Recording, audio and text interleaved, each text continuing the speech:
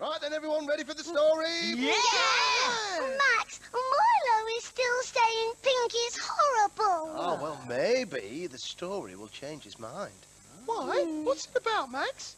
Pigs! Oh, oh, I like pigs. They're fabaroonie, because they get all muddy and make rude noises. I wish I was a pig. Yeah. I'm rolling in the mud. Oh, Getting nice and dirty and sticky. Well, people sometimes think that pigs are dirty, but actually, Milo, they're often very clean and clever. Are they? But one of the pigs in this story was very clever indeed. It's called the Three little pigs. now, hands up who wants to be a little pig. Me! I do. Oh, all right, then, you three. Uh, and now, who's going to be, all right, who's going to be the wolf? Yeah, okay, then, Jake. yeah. It's the wolf, that's it. Now then, uh, let's see if I can remember this story now. Uh, what happens? Uh, right, I think I've got it. Once upon a time, there were three little pigs. oh, thank you, piggies. Now, the first little pig, Oh, that's me. that's right, Fizz, decided to build her house out of straw. Oh, I'll make my house out of straw. Oh, the second little pig Uh, my turn. decided to build her house out of sticks. Hey, Bella. I did. I'll make my house out of sticks. build, build, build. The third little pig was very clever indeed, and he decided to build his house out of bricks. Hey, I'm the clever little piggy. I'll build my house out of bricks so that it's very, very strong. Oh, he in the forest, there lived a very hungry, big, bad wolf. Oh, that's me. Jake. Right. Oh, oh, that's right. The wolf knocked on the first little pig's door, and he said, uh, Little pig, little pig, let me come in.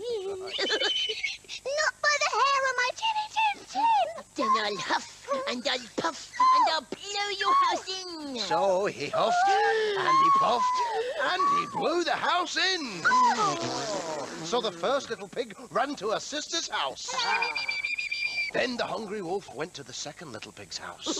The wolf knocked on the second little pig's door and said, Little pig, little pig, let me come in. Oh, not by my hair on my chinny chin chin. Then I'll huff and I'll puff and I'll blow your house in. So he huffed, and he puffed, and he blew the house in. Oh, so the first and the second little pigs ran to their brother's house. Yeah. Oh, that's me. the wolf knocked on the third little pig's door. Oh, oh, hang on, wait a minute, Max. I'll just go over here and uh, put the puppet on the other finger. Oh, I see. Right. Ready? Ready, ah. right. And he said, uh, uh, A little pig, little pig, let me come in. Oh, not by the hair on my chinny chin chin. then I'll huff and I'll puff and I'll blow your house in. so he huffed, and he puffed, but it didn't fall down. Oh, oh so the wolf tried to get down the chimney. Oh, I got up chimney, oh, up there. But inside, the three little pigs had lit a fire. What? A very big fire. Hmm. And the big bad wolf ran away with a very burnt tail Wait, wait, wait, wait, wait, wait. and a very sore bottom. Oh no, my body!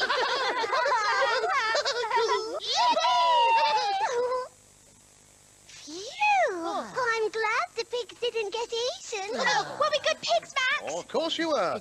Especially me, because I was a clever one who built his house out of bricks. Aha! No one can huff and puff like Milo, the world champion little pink pig. Ah, so you like pink pigs, do you, Milo? Well, yeah, I really like pink pig. Oh, oh, no!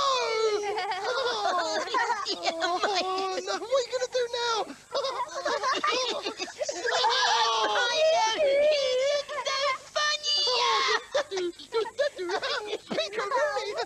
I'll be completely pink.